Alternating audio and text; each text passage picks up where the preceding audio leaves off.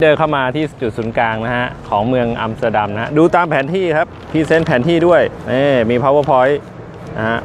อยู่แถวๆไหนแถวนี้นะครับ เข้ามาตรงนี้นะฮะตอนเดินเข้าไปตรงนี้เป็นเอ่อสถานี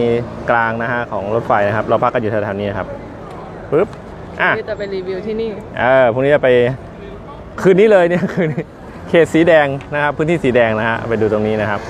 อะคันนี้ให้ดูบรรยากาศรอบๆยามเย็นนะฮะยามเย็นซึ่งขณะนี้คือเวลา 2 ทุ่มนะของวันที่ 16กรกฎานะครับ จะเห็นว่าเมืองก็เดินดูเมื่อกี้สวยงามอาคารนะฮะแล้วก็มีการรีโนเวทใช้ใช้วิชาชีพสถาปนิกเยอะมากเลยครับทำให้อาคารต่างๆดูสวยงาม เพราะว่าจะเห็นว่าอาคารพวกนี้ส่วนใหญ่เนี่ยอย่างอาคารนี้เห็นไหมซุดนะฮะแล้วก็สร้างมาตั้งแต่ศตวรรษที่ 17 18 ซึ่งเป็นยุครุ่งเรืองของเนเธอร์แลนด์เขาที่ออกไปเผชิญโลกนะฮะออกไปในโลกใหม่ ไปสร้างอาณานิคม รวมทั้งมาที่อยุธยาของบ้านเราด้วยนะครับทำให้เขามีความรุ่งเรืองแล้วก็มีความร่ำรวยขึ้นมานะฮะแล้วก็เขาต้องดิ้นรนเยอะเพราะว่าดินแดนที่เขาอยู่ตรงเนี้ยเป็นดินแดนที่อยู่ต่ำกว่าทะเลนะครับต่ำกว่าระดับน้ำทะเลเขาเลยต้องเอาน้ำเนี่ยมาใช้ประโยชน์ให้สูงสุด